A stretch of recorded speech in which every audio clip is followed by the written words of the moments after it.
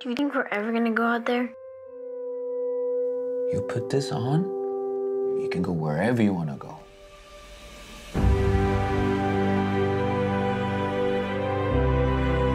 There's some special moments in life where everything seems to slow down, as if time itself stops.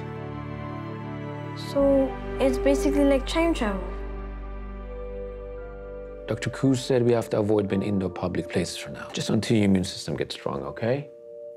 Yeah, yeah, I, I bring him in tomorrow morning.